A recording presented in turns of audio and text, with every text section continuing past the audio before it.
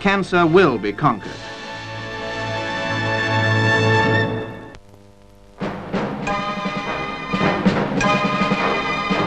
Taxi drivers are often prone to the colourful turn of phrase. The customers know that all the world over. But in southern Germany, they've got a grim reason for using strong language. Every week, more of them are killed or maimed in attacks by thugs. A fantastic state of affairs which has resulted in special courses in self-defense.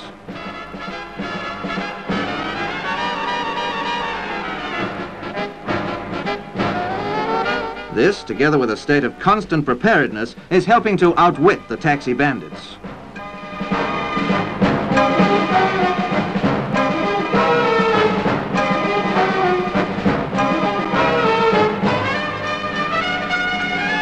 Right. Any more of you layabouts want a taxi?